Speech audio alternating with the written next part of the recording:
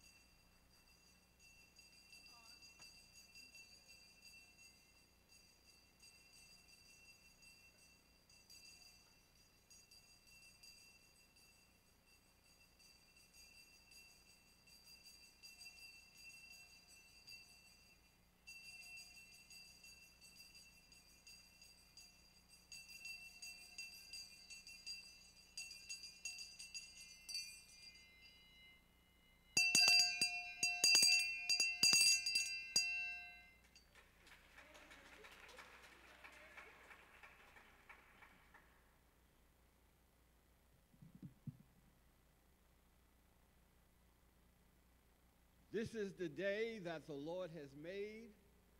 Let us be glad and rejoice in it. I was glad when they said unto me, Let us go into the house of the Lord. For God has shown thee what is good. And what does the Lord require of thee but to do justly, to love mercy, and to walk humbly with our God? Good morning. We welcome you this morning to the Andrew Rankin Memorial Chapel here in Crampton Auditorium. And we pray God's blessings upon you as we seek to worship our God in spirit and in truth. I'm going to ask Miss Vanyana Marjana, a member of the Friends of the Chapel and a former chapel assistant, to light our unity candle. She's a 2006 graduate. My, my.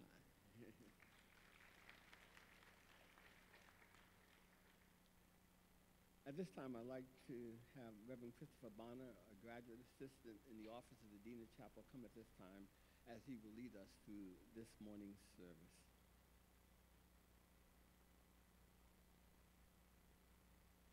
Good morning, Rankin Chapel family, university community, and guests in person and online. Thank you to our bell ringer, Mary Betterson, a sophomore sociology and criminology double major, military science minor on the pre-law track from Cleveland, Ohio by way of North Carolina.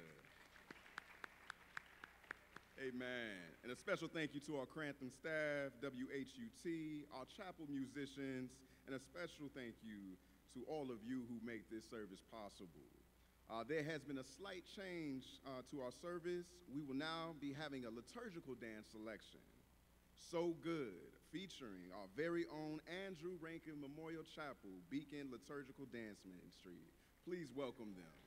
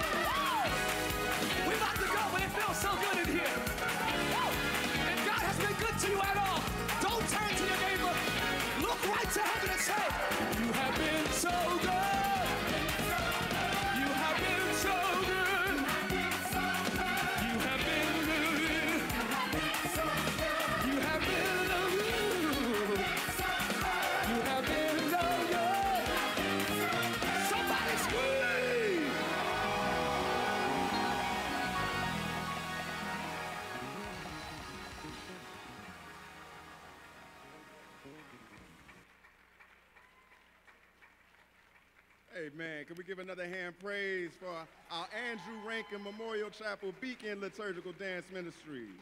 Praise God.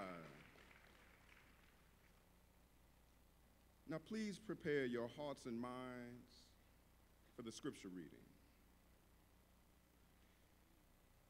This week's scripture is Luke chapter 1, verse 37. And I'll be reading from the New Revised Standard Version, updated edition. And it reads For nothing will be impossible with God. This is the word of God for the people of God. Thanks be to God. We will now have the musical selection ascribed to the Lord, featuring our very own Andrew Rankin Memorial Chapel Choir under the direction of Dr. Eric, o- Dr. Eric Poole.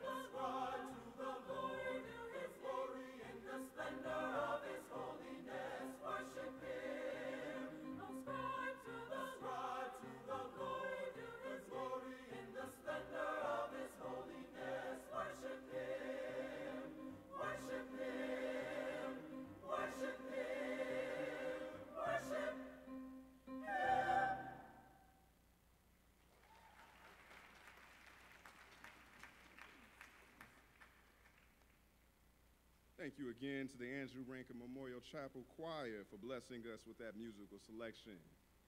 We would now like to introduce our speaker's assistant, Asha Anthony, a senior legal communications major, political science minor from Mesa, Arizona. Thank you for your service on today. And just as a friendly reminder to our chapel attendees, offering will be collected after service in the baskets. Donations can also be made online using the QR code found in your bulletins, or you can go directly to our website, giving.howard.edu forward slash Rankin Chapel. Your contribution goes a long way in shaping the future of our student leaders. Your giving opens doors to opportunities that were once unimaginable to our ancestors. So please consider giving generously online and in person. Now we would like to introduce our chapel assistant president, Dumani Rodriguez. She, man, she is definitely worthy of applause. she will be making a greeting, make chapel announcements, and introducing our calls to chapel. So if you are scheduled to give a call to chapel, we ask that you line off to this side and more directions will be given to you. Thank you for your cooperation and please welcome Chapel Assistant President Dumani Rodriguez. Good morning, Chapel family. I hope everyone had an amazing week. As always, the Office of the Dean of the Chapel welcomes you to join us for Meditation Mondays online with Dean Richardson and Wellness Wednesdays in the Little Chapel in Carnegie Building. More information regarding our programming is listed in your bulletin, or you may speak with chapel assistants after service. May all CAs please rise.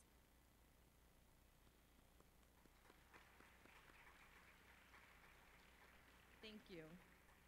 The call to chapels today will be from Alpha Kappa Alpha Sorority Incorporated, Alpha Chapter, Howard University Alternative Spring Break, and Bison Holiday Give Back. Y'all may please come.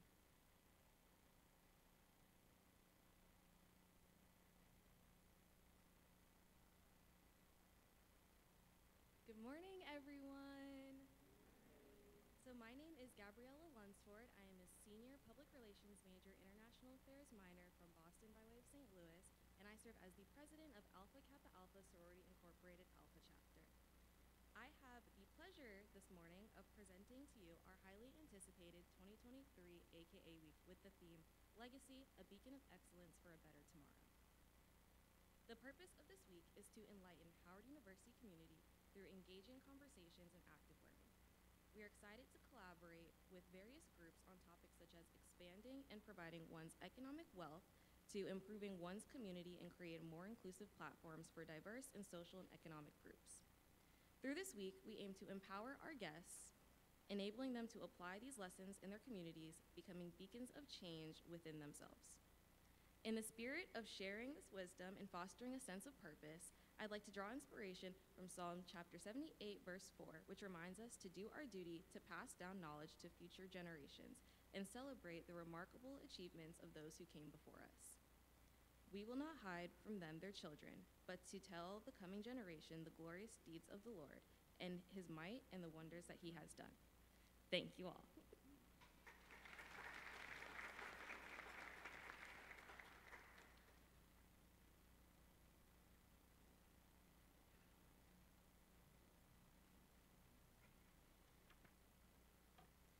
Good morning. My name is Tyra Lacey. I'm a senior health science major from Los Angeles, California, and I have the pleasure of serving as a co-executive student director for Howard University Alternative Spring Break. And my name is Deshaun Jones. I'm a senior math major, econ minor from Clearwater, Florida, and I too serve as the co-executive student director for the Howard University Alternative Spring Break program. Howard University Alternative Spring Break is a student-led service learning organization that is university-wide, and it seeks to introduce students to concepts of social justice, education, and community development. This morning, the Howard University Alternative Spring Break Steering Committee is honored to welcome our speaker, the Reverend Dr. Michael Eric Dyson, to the Mecca. Also, we would like to congratulate President Vinson on his inauguration as the 18th president of Howard University. During convocation, President Vinson introduced us to his vision of ensuring that Howard University operates at its maximum strength, and we are excited to be a part of that vision. This year, HUASB is celebrating 30 years of service throughout the globe. This year's theme, A Legacy of Paying It Forward, illuminates the program's rich legacy of service in marginalized communities across the globe. Last year, we were able to send over 1,200 students to 25 underserved communities at no charge. This is indeed Howard at its maximum strength. We are excited to begin this historic year and are grateful for the added component of President Vinson's leadership to accomplishing our goals and expanding the university's legacy of truth and service. And as always, we are appreciative of all administration, Dean Bernard L. Richardson, HU community members, and our program administrator, Joseph Dillard, for making HUASB a reality each year. Will the Howard University Alternative Spring Break Steering Committee please stand?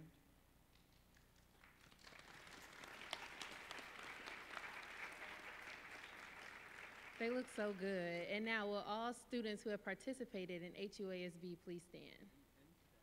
And staff. And faculty.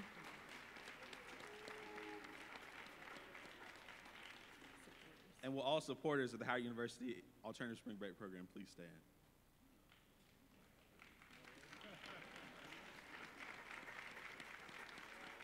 Thank you all for your participation and support. Have a great day.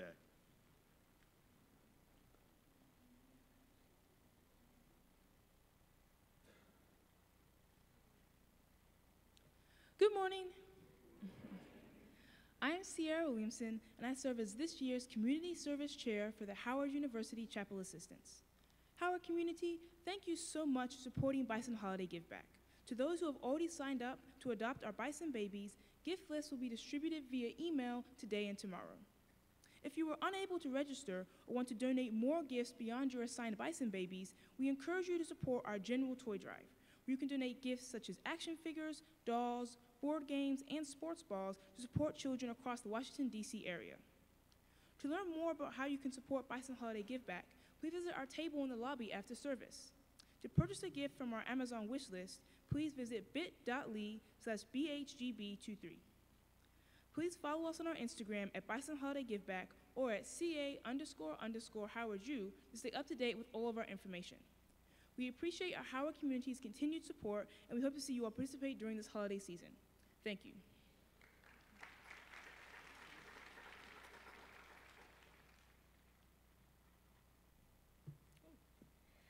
I would like to thank all of the organizations that had a call to chapel today. Thank you. And now it's time for the quote of the week. It reads I believe in the impossible because no one else does. And this is said by Florence Griffith Joyner. I hope you all enjoy service. Remember, you can join chapel assistants every Friday at 5 p.m. in the Little Chapel in Carnegie Building. Last Friday, we had a lot of fun celebrating Halloween with Dean Richardson. And once again, CAs will be in the lobby after service. Thank you.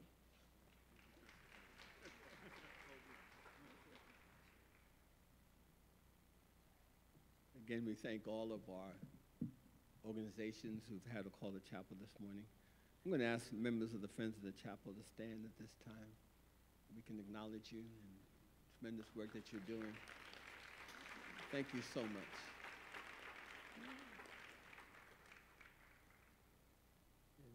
And you're pointing to Miss Walters. And uh, good to see you back. Stand that we can acknowledge you this morning. Many of you know that I'm, I'm going to get that figure right. How much money did you donate to our university, to your university? 2.5 million. Amen.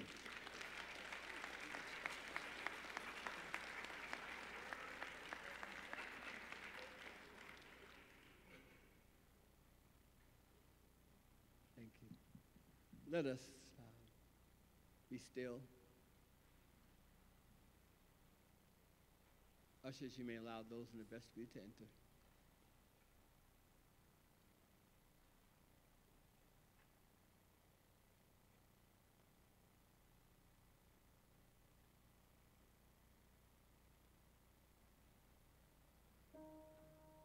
Let us take a moment to center ourselves. Take a deep breath.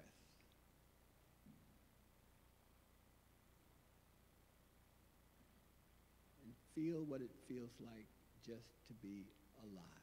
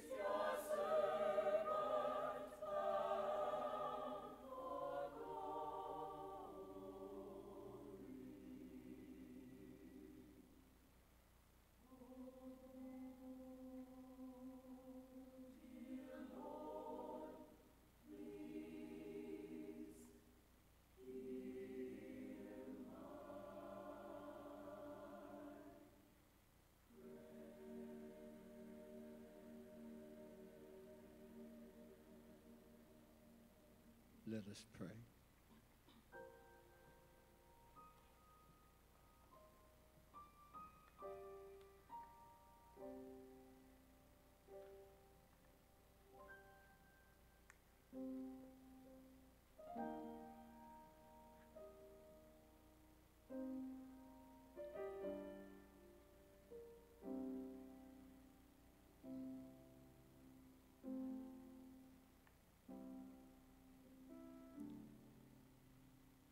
Most gracious and loving God, before any human hands touched us, you already knew us. In this moment, you're closer to us than our own thoughts. And you love us with a love that refuses to let us go. Because you love us, we can come out of our hiding places and, and open our hearts to you. For you have been to us a healer more than a judge. What is it about us, O oh Lord, that is, that is causing us to be so anxious about many things? Why do we easily give up on ourselves? Why do we allow a failure, a disappointment to rob us of our peace? And why do we seek from others what they are unwilling or unable to give to us?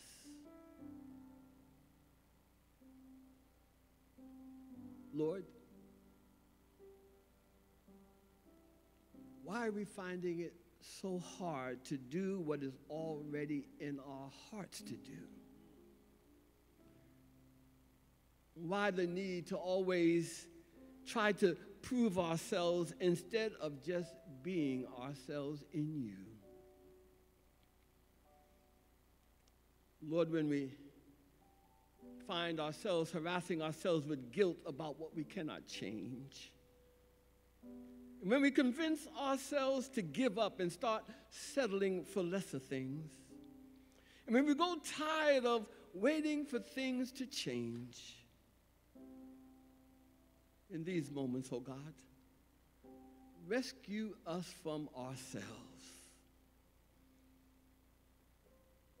Help us to change the, the way we think about ourselves, how we feel about ourselves. Make us to know that our failures and our disappointments do not have to have the last word, that there's still more for us.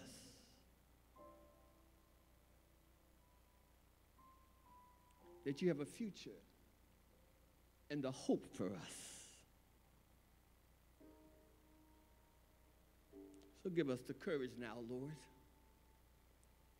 Give us the courage to let go of what we cannot change and to trust you with the, the new thing that you have for us.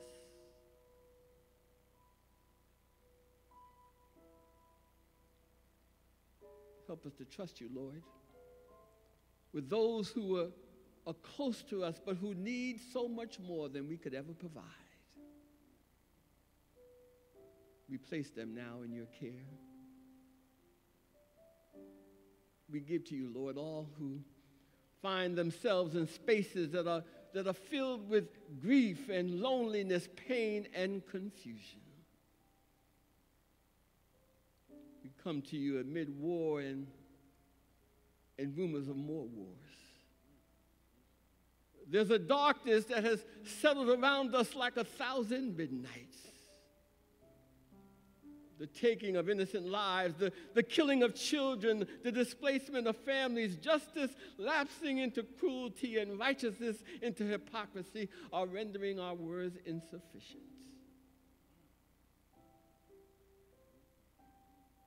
We can only ask you, Lord, as the prophet asked,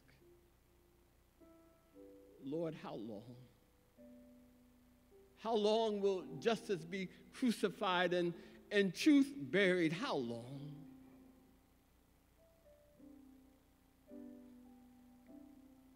Give to us, Lord, the compassion and the, and the courage that we need to turn the nations of this world away from the, the hatred, the, the racism, the religious bigotry, and the greed that has hardened our hearts to what is right, to what is just, and to what is decent. Come now, Lord, and, and heal us. Heal your people everywhere. Give us the faith to believe that, that we can be healed. We open now our whole being to receive your healing. Heal our minds, heal our bodies, and heal our souls. We're not going to try to tell you how to do these things this morning. We're just going to let go now. And we're just going to trust you. We're just going to trust you. Now, not by still dews of quietness, until all our striving cease.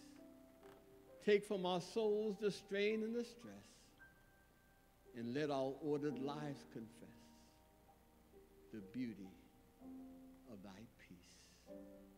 In Jesus' name we pray. Amen.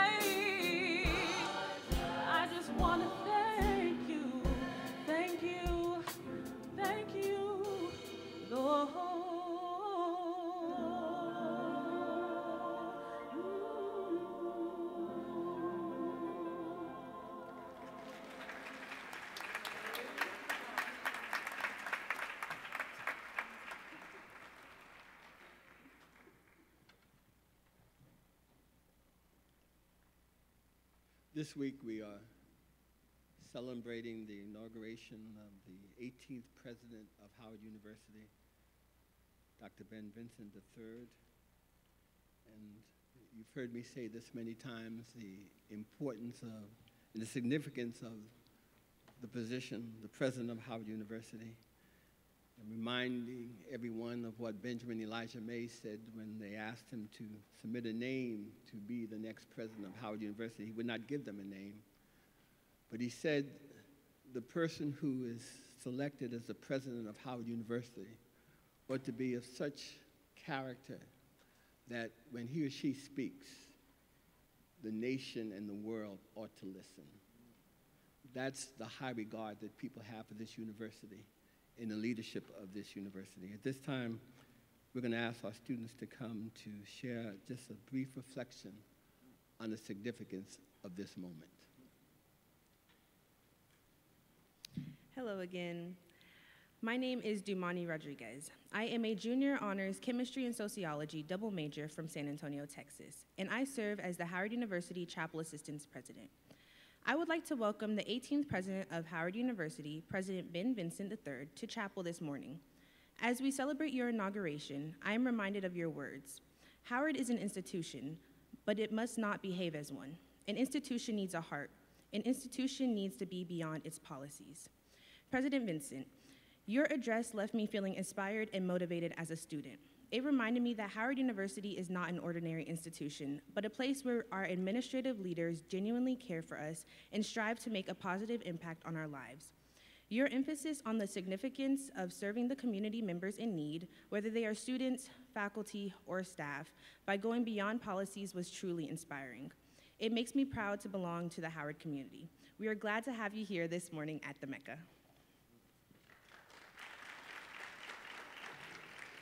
Good morning again. My name is Tyra Lacey. I'm a senior health science major from Los Angeles, California, and I serve as the Howard University Alternative Spring Break co-executive student director. I would like to welcome the 18th president of Howard University, ben, President Ben Vinson III.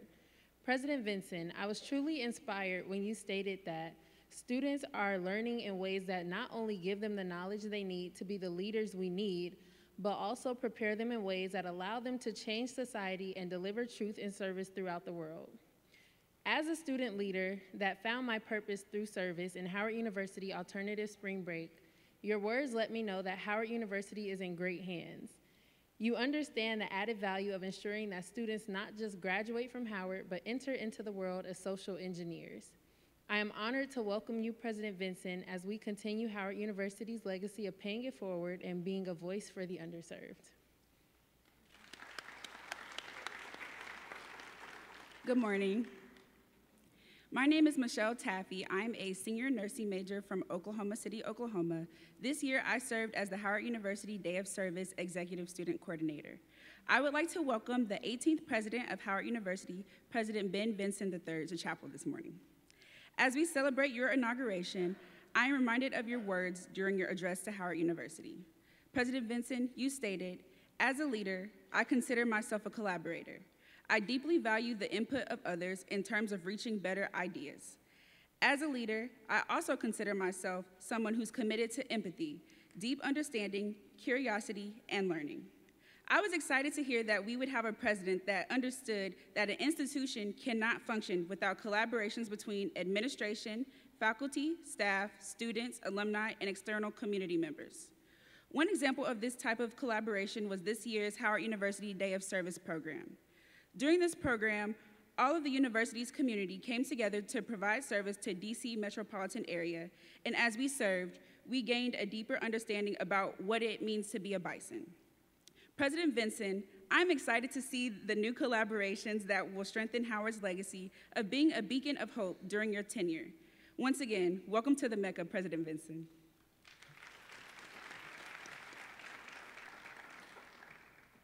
Good morning again. My name is Deshaun Jones. I'm a senior math major, econ minor from Clearwater, Florida, and I serve as the Howard University Alternative Spring Break co-executive student director. I would like to welcome the 18th president of Howard University, President Ben Vinson III. President Vinson once stated, there's so many ways in which being a parent and being a father gives you insight into our modern student. the conversations about race, about politics. It gives me an insight into what must be on the minds of our students. President Vinson, through those words, as a student, I felt truly seen and heard. Your emphasis on the importance of being a parent and being a father to understand the challenges that modern students face resonated deeply with me, exemplifying your care for students' total person. It highlighted the critical role that universities play in guiding students through complex issues like race and politics in the midst of a global crisis. Your inspiring words about knowing when to guide, when to let go, when to lean in, and when to listen to students demonstrates your unwavering commitment to our success. As a student, I feel blessed to have a leader like you who brings care, compassion, and insight to the role of president here at Howard University. President Vinson, it's my honor to say, welcome home.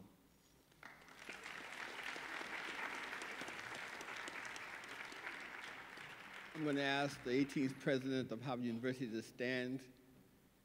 And I'd like for us to stand and give God thanks for President Vinson.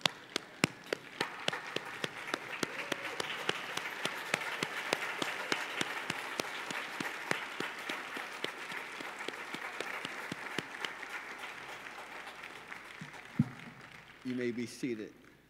We have one more challenge. This is one that's very difficult and one that's very important. Um, when I left the position in my church in Connecticut, I was interviewed by a local newspaper, and they asked me, What will I miss the most about leaving my congregation? And I don't know where it came from. Well, I know where it came from. It's, I said, I will miss the fact that I know that every day somebody is lifting up my name in prayer. And so I'm going to challenge us this morning, and I'm going to ask uh, to someone to others to do this publicly. I want to ask that, and if you're willing to do this, stand, that you will include President Ben Vinson III in your prayers. If you would do that, only if you're going to do it, stand.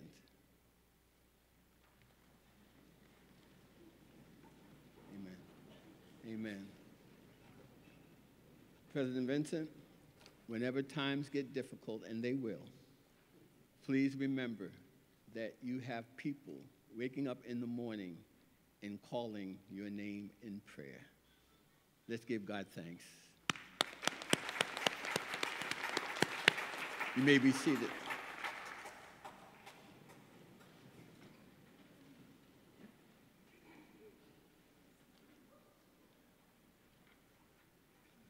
I'd like to acknowledge any member of the President's Cabinet that's here with us this morning. Please stand for a moment. Dr. Bennett, please. Mr. David Bennett, he is Vice President of Development and Alumni Relations, and thank you for the tremendous work that you're doing at the university. Um, I'd like to acknowledge also a very special friend of mine and a friend of this chapel who happens to be uh, married to our speaker. She is the Reverend Marcia L. Dyson. Please stand. A, respected, remain standing, respected civic social activist and communication specialist um, she is doing tremendous work, not just here in this country, but throughout the world. And I want to thank you for the tremendous work that you're doing. Um, she has just started now the Women's Global Initiative. She is the CEO. And we know that you're going to have great success in this new endeavor. She, you truly are a servant of humanity. Thank you so much for being here. And uh, They've been with us for close to 30 years and uh, doing tremendous work and has helped the, the chapel out in too many ways. And I was reminding Dr. Dyson when we had the Hurricane Katrina, during Hurricane Katrina, uh, he, Dr. Dyson, Marcia Dyson, Reverend Dyson, Col- Colin Powell, uh, Reverend Sharpton, they led a national drive for us to go. Remember that? And um, because of their persistence, FEMA opened up uh, New Orleans to all universities across the country. And uh, we thank you for the tremendous work that you're doing and continue to do. It is my honor and privilege, and I have to be very careful because sometimes we don't acknowledge greatness when it's close to us. And I don't want to take my friend for granted. And so I will do what I don't normally do and read a little bit of who he is. And uh, our speaker this morning is the Reverend Dr. Michael Eric Dyson. He's one of our nation's most renowned professors, gifted writer, inspiring preacher, knowledgeable lecturer, and prominent media personality. He is presently the Centennial Chair in the University Distinguished Professor of African American Diaspora Studies in the College of Arts and Science and University Distinguished Professor of Ethics and Society in the Divinity School at Vanderbilt University. You can clap.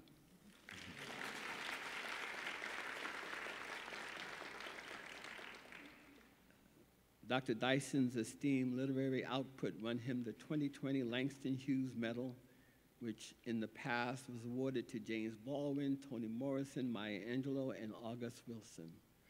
Dr. Dyson has also won an American Book Award, a Southern Book Award, and two NAACP Image Awards. Dr. Dyson has worked as a political analyst for MSNBC, and has made guest appearances on scripted cable and network, television programs such as Soul Food, The Game, and Blackish. He has also appeared on CNN and Fox News to analyze politics and culture. His most recent book, Unequal, A Story of America, was published in May 2022. We are indeed honored and privileged to have with us once again Dr. Michael Eric Dyson.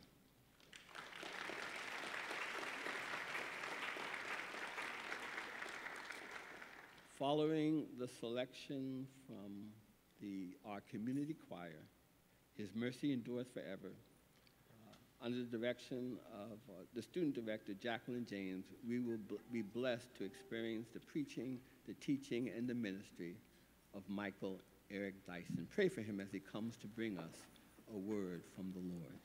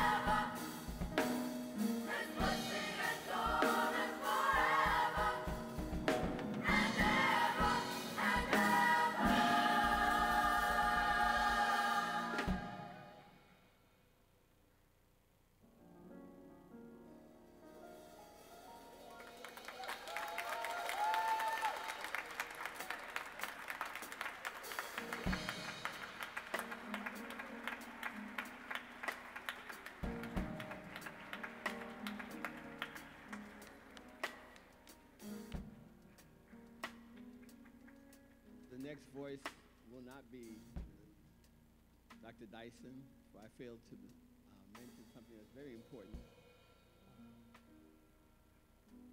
It's important to have friends, and uh, my friends changed their schedule for them to be here.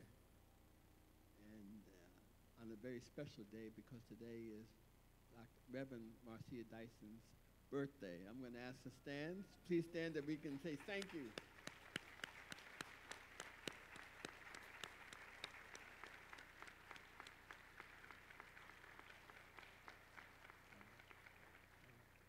Friendships are important. It's important that we don't take advantage of our friends. Amen.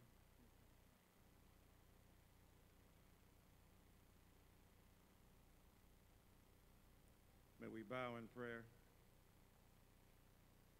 We thank you, O Lord, for the sweetness of this hour, for the majesty of this moment, for your spirit that indwells and your peace that prevails and your love that entails all of the possibility of our human existence. Now, in the midst of martyr and misery, we beg and beseech your presence to lead us out of the labyrinth of suffering into a brighter day of tranquility. Now there is no word in my tongue that thou dost not know altogether. So may the words of my mouth and the meditations of my heart be acceptable in thy sight, O Lord, my strength and my redeemer. Amen. To Dean Reverend Dr. Richardson, to the distinguished members of the clergy and this great collegium of ministers and pulpit associates, and of course to the 18th president of Howard University, Dr. Ben Vinson III, to you, my brothers and sisters, ladies and gentlemen, boys and girls, good morning. It's an honor to be here at the Mecca, at Howard again. Always great to come back and to celebrate with you uh, in the worship of God. Always great to see my my dear friend Dean Richardson, who has been on the front line in the gap, paying attention to spirit and to politics and to culture and to religion and to faith and especially to the progress of the students under his charge. He is a spiritual genius. He is a remarkable embodiment of God's spirit, an incredible human being, and a man that we love. Let's rise to our feet and thank God for this man right here, Dean Richardson.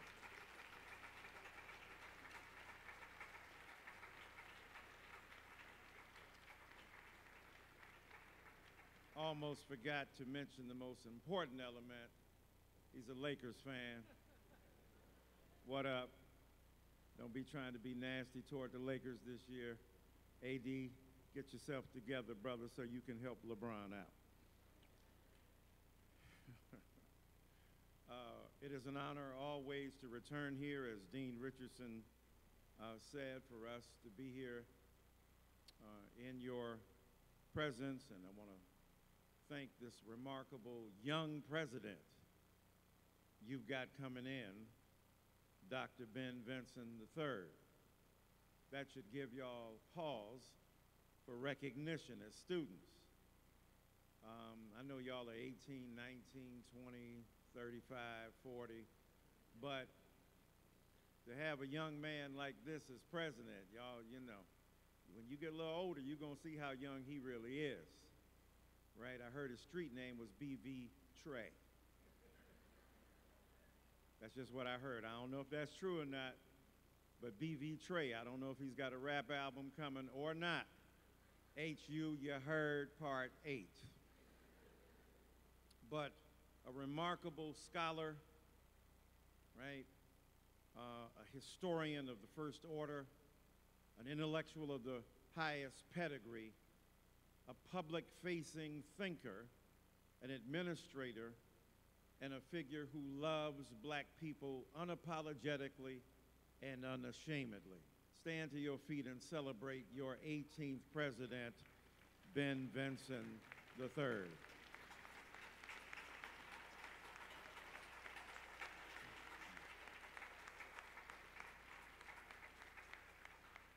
BV, are you with me? Right. Thank you, sir, for your extraordinary service. And the dean has already indicated that uh, the inimitable Marcia Dyson is in our presence, a remarkable leader, Women's Global Initiative, as Dr. and Dean has said that she travels literally all over the world, um, especially in service of women and girls, making sure that their futures are secure in the midst of myriad miseries that attack their spirits, bodies, and souls. And today is her birthday. I guess she doesn't mind her age, 7'2". I know y'all don't believe she's 72 years old, right? Good black, don't crack, and better back black, don't look back. So stand up once again, Reverend Marcia Dyson, on your 72nd birthday.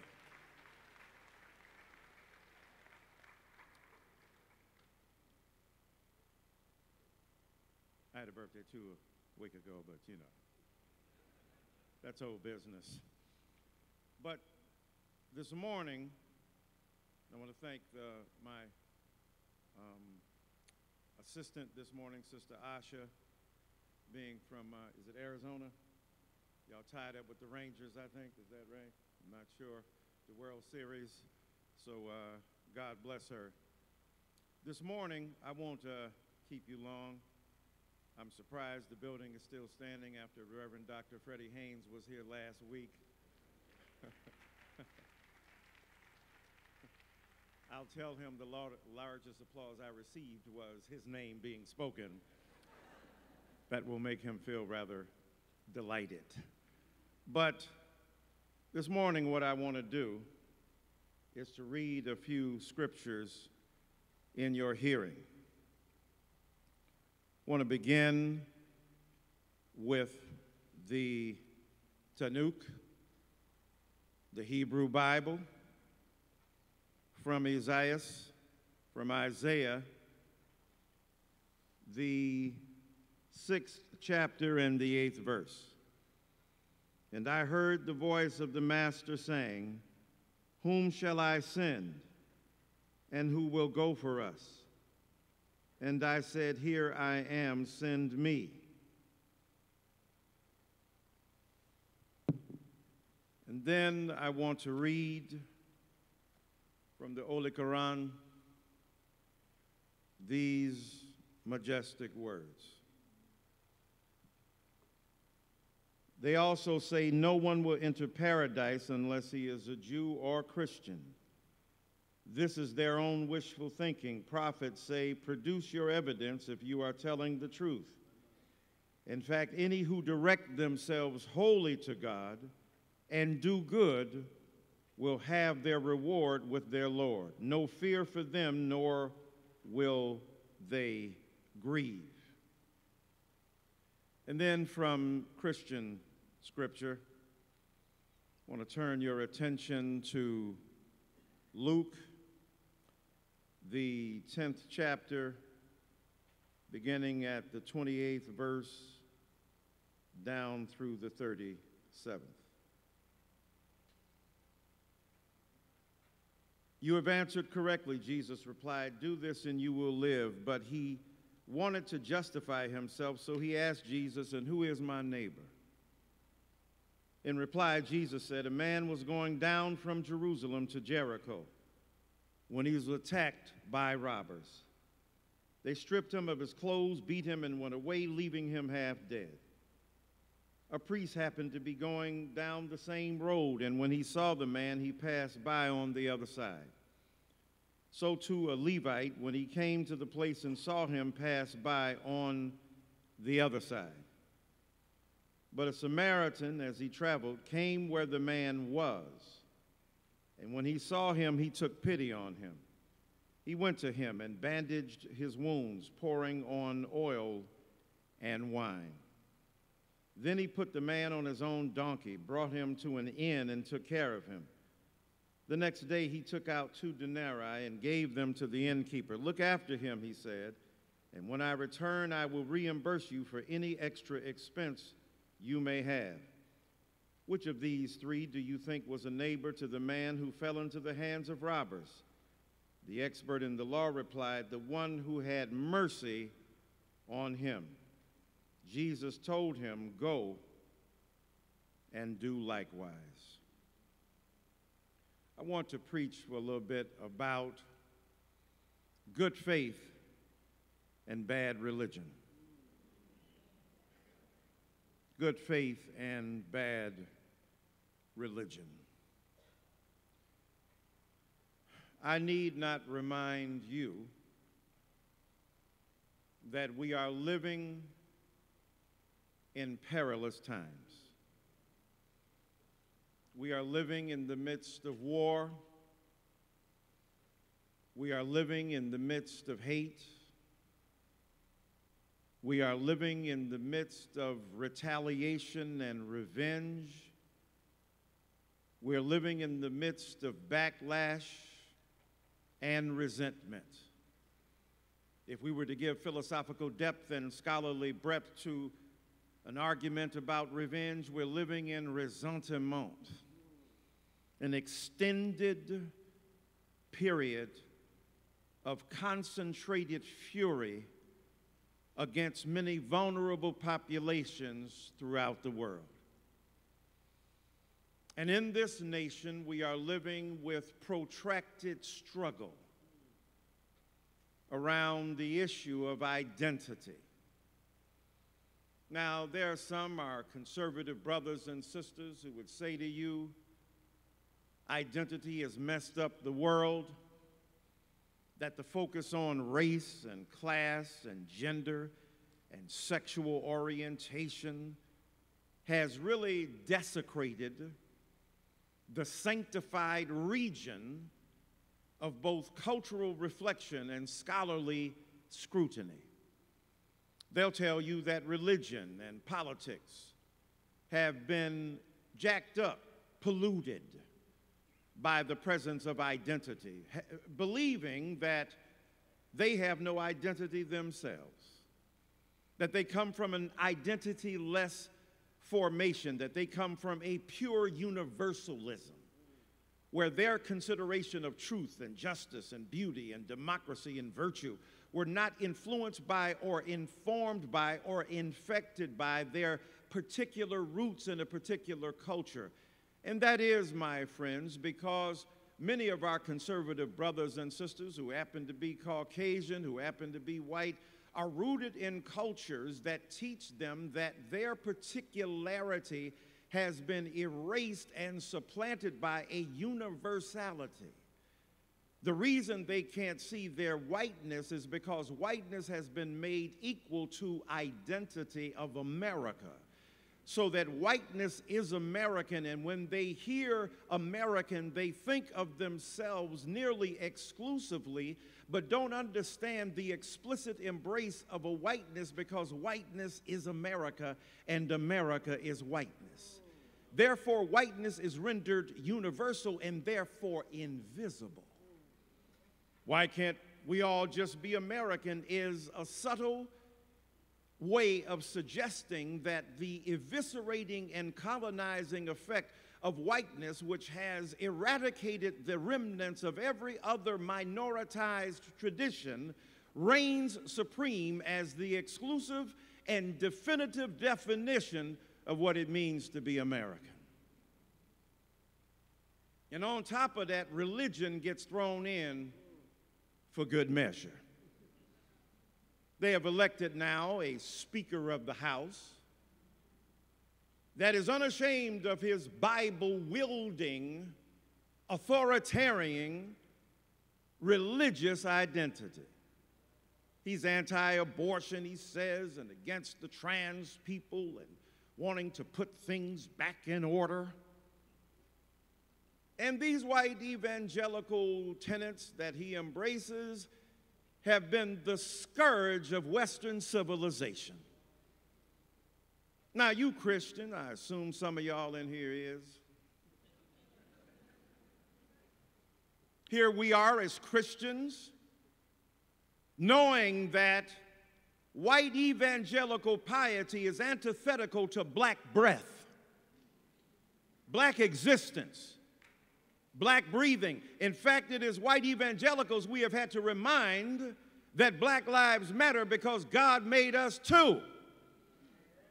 God scooped from the clay of earth and breathed into it the breath of life. That was our poet who said that. But many white evangelicals have collapsed the infrastructure of their theology to represent the ideological definition of conservative, where they worship the flag more than the cross and their own party more than their own God.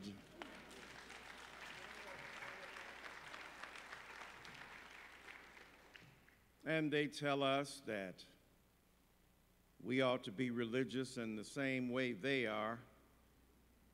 But it was Martin Luther King Jr. who said, When I pass their churches, sometimes I wonder who is their God.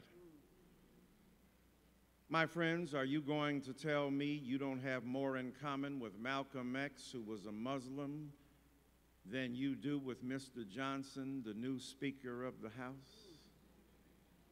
Are you going to tell me that a religious difference among black people who have been commonly oppressed by white supremacy and the scourges of a manifest destiny that led America to believe it should colonize the world and eviscerate the indigenous, that you have more in common with Jimmy Swaggart than you do with Minister Louis Farrakhan? Are you telling me that you would allow bad interpretations of religion to destroy good faith. And some of us within our own traditions acknowledge that some of us, even among black Christians, have deep divides about how God should be interpreted. That should give us pause right there to know that religion has a social determinant that characterizes and shapes our perception of the world that even folk who call themselves black and Christian got big differences of opinion about how the world should operate. I go into some black churches and they are deeply homophobic and transphobic. What's more binary than the Spirit of God? Neither male nor female, Jew nor Greek. We say God ain't got no gender, and yet we want to gender God, keep calling God Him. That may be convenient, that may be the way of grammatical constructions before the last 50 or 60 some odd years, but the truth is, God trans any of that. Those who worship God must worship God in spirit and truth because God is a spirit, which means God transcends your narrow denominational interpretation of who God is. God may even transcend your narrow religious conception of who God is. Because of religion, we fight and prosecute wars, even among our own black communities. What churches we go to, did you get baptized in the name of Jesus only? Are you COGIC or COGIC? Are you Pentecostal? Are you fundamentalist? Are you Baptist? Are you CME? Some of us are even if we ain't in the CME church. Christmas, Mother's Day, and Easter, CME.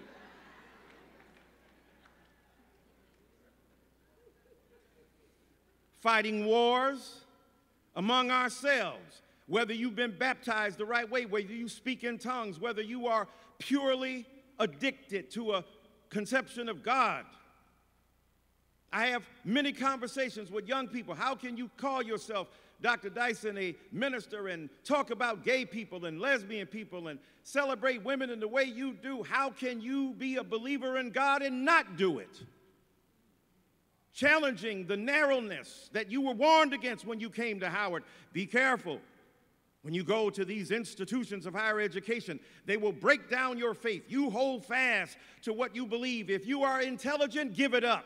If you are intelligent, don't pay all that money and stay dumb. If you are intelligent, don't get deeply imbued by your ignorance. Love your mama and daddy, but develop your own relationship with God.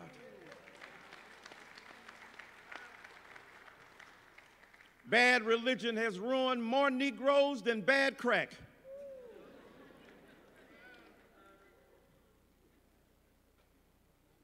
Bad religion that says only my way, only my belief, only what I understand, only what I embrace, only how I worship is the right way, as opposed to saying that this is what I was taught, this is what I believe, this is what I understand. I have reason to continue to believe in this until such time that something comes along to challenge the legitimacy or validity of what I believe ought to be different coming to a chapel at a university than going to a church in the hood, only because you should not make an excuse for bringing critical analysis and serious insight into worship of God.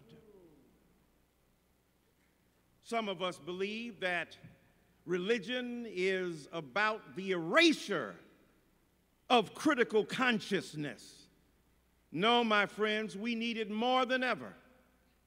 We are living in a society where bad religion has allowed some conservative black folk to link up with some conservative white folk against the very people that you grew up with, against the very people that you love. So some white evangelicals have convinced you that being woke is a sin, that have taught you that talking about politics in the pulpit is against the pure gospel of Jesus, and now you have turned your pedigree against your pigment and undermined the integrity of the God who breathes through those who look like you.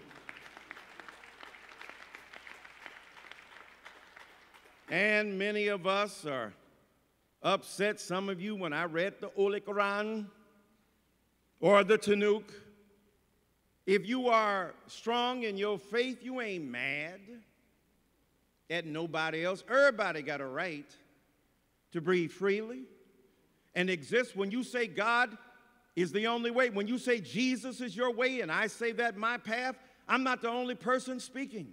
I have Muslim brothers and sisters. I have those who read the Upanishads, the lessons from Hindu. I have those who read the Bhagavad Gita, the Holy Quran, the Tao Te Ching.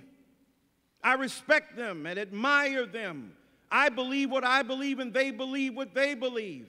Now, some of you have been taught, oh my God, that's a critical relativism that undercuts the universality of truth. If anybody should be skeptical of universal conceptions of truth that don't pay attention to local color, flora, and fauna, is black folk in America.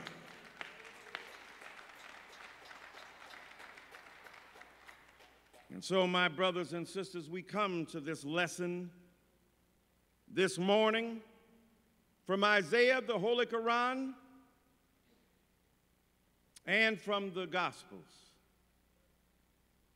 Jesus tells a story because somebody's trying to catch him in a trap. Who is my neighbor after he said, Love the Lord thy God with all thy heart, mind, and soul, love thy neighbor as thyself? Who is my neighbor? He thought he had an ontological obfuscatory test for Jesus. He done got up early in the morning. He waiting for you. Ontological, just a big word for being. Obfuscation, trying to obscure the truth of the gospel by pointing to a theological conundrum that is a fact uh, uh, that contradicts the evident logic of his faith. So he's trying to trap Jesus. Say, who is my neighbor? So Jesus tells a story because stories communicate some truths more deeply than straightforward philosophy and theology. He tells that very familiar story about a man that got jacked up, beat up, hijacked, robbed on a road. A road going high and going down to Jericho. And Jesus tells that familiar story, and some have called it the story of the Good Samaritan. That's an insult. That's like saying the story of the good Negro. And I don't know about you, but given what America thinks is a good Negro up the road here with a black robe on, that's a good Negro to them. Here he is saying, I do not want to be the victim of noblesse oblige by white people, white patronage. How about that 267,000 you got forgiven on your RV blow? This criminal embodiment of black self abnegation, this vicious self detesting evidence of breathing black humiliation the refusal to recognize that in his dark chocolate skin is inherent a conception of race that is beyond his control in this sense that those who think of you what they think of you, my brother, will think of that regardless of how you abdicate the throne of your own self respect and kiss the gluteus maximus of a dominant Caucasoid world.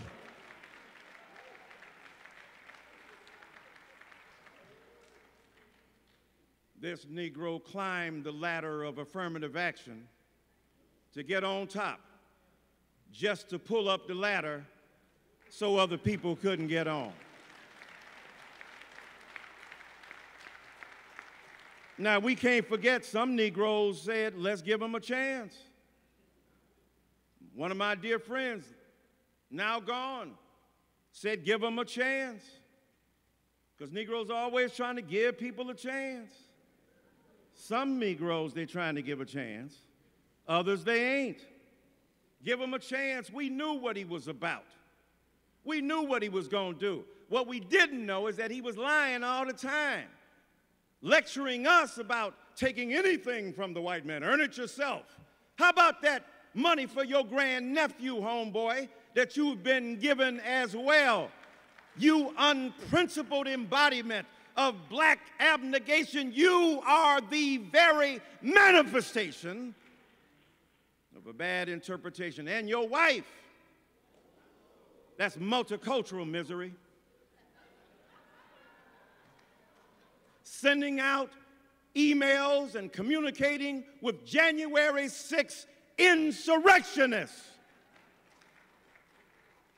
Ketanji Brown has enough conscience to recuse herself from a case involving her alma mater.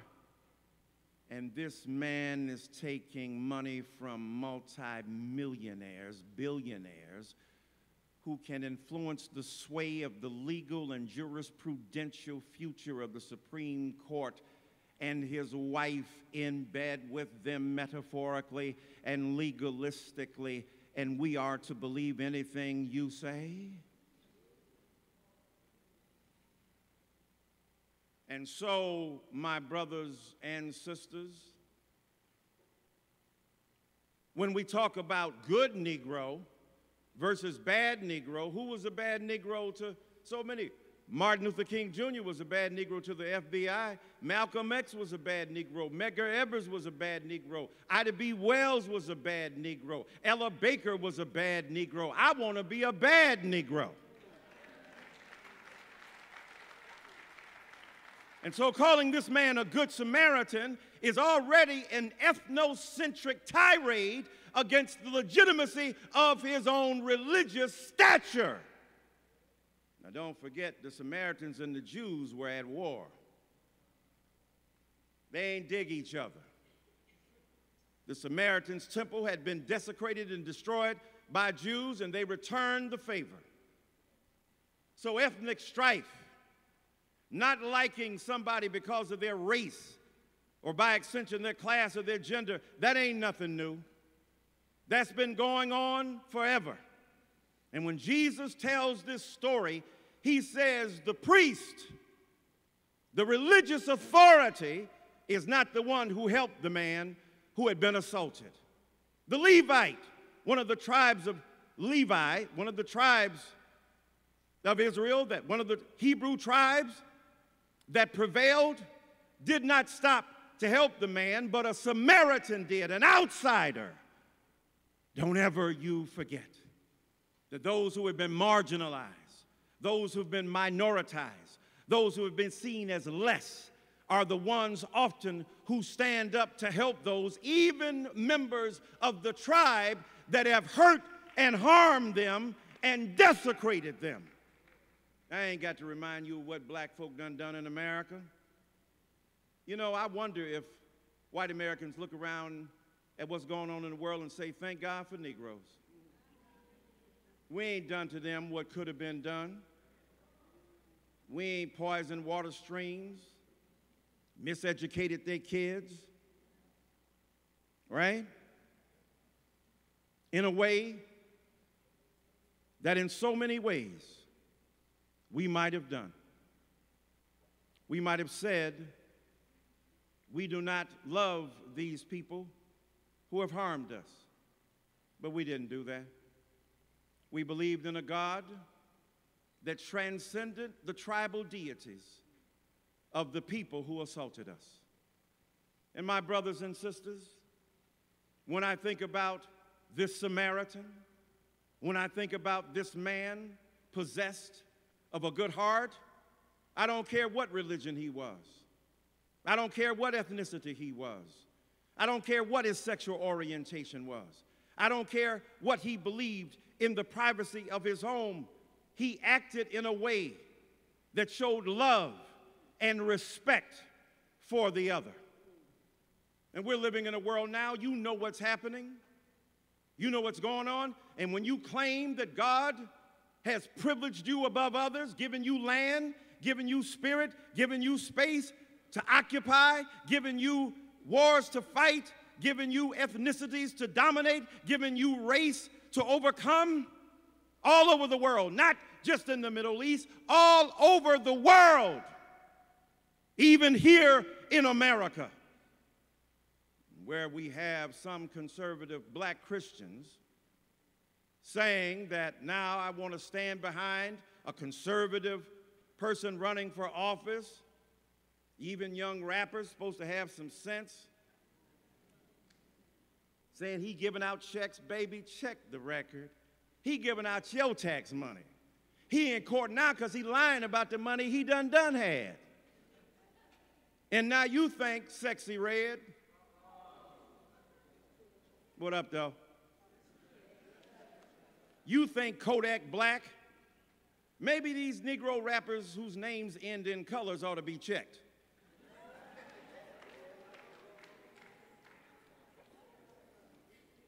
But we got older black folk doing the same thing. You thinking this man, this authoritarian, this condescending, this colonizing, this racially suspect, this Mexican hating, this, this, this man who believes that the nations of the world that are colored are problematic. Jesus uses this story to remind us the very people you demonizing are the very people who are the embodiment of God's Spirit. I'm going to sit on down soon. All I want to tell you is that you ought to have good faith, not bad religion. God sometimes asks you to get beyond your religion. Don't worship the Bible. Don't worship the scriptures. Worship the God who inspired them. I've said that before, I'll say it again. We are not here to elevate one particular train of religious thought above others. We are here to be the embodiment of God. And in John, it says that God is love, and those who practice love are of the same religion. No, they are of the same faith. Good faith disciplines bad religion. Good faith says that God is not concerned about whether you're a Shiite or a Sunni or a Baptist or a Methodist. God is concerned about what you do with your life in service of those who are the most vulnerable on this earth.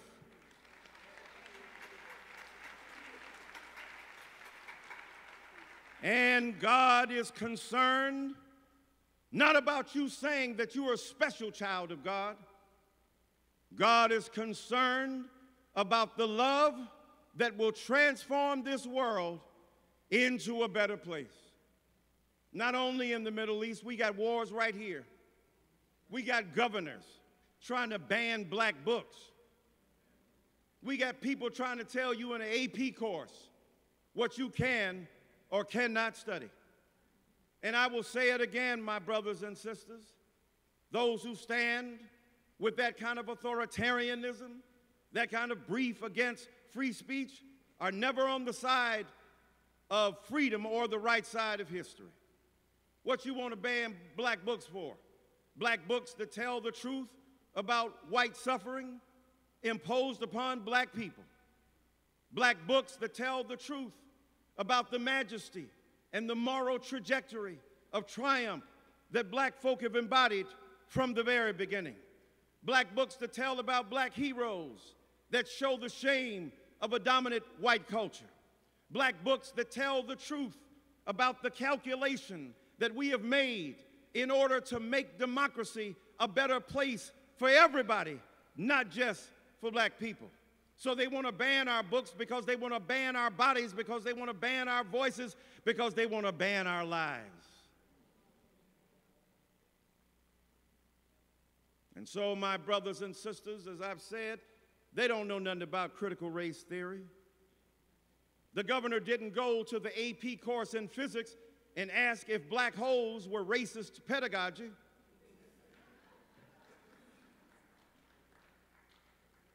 Anytime the government gets involved in the classroom trying to dictate what you should study, you should be suspicious and skeptical. That's why black churches should teach those black books.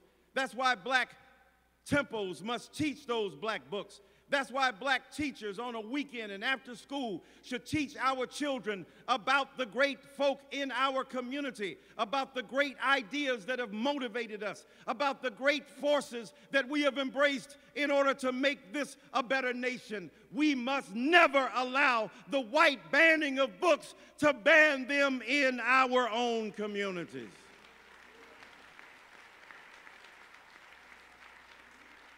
And so I take my seat. Good faith is sometimes against bad religion. If you go to a church that tells you that black gay people are bad, that's back, bad religion. I don't care what you've been taught. God is not interested in your sexuality and your sexual orientation. God is, however, interested in your moral orientation. And what is it about black people that makes us obsessed with how somebody has sex? You get upset when you discover your favorite singer was not of your same sexual orientation. What Luther was singing about ain't got nothing to do with what I'm aiming at. Don't you remember? I told you I loved you, baby. His baby ain't got to be your baby. But his baby singing to his baby might help you with your baby. So why you mad?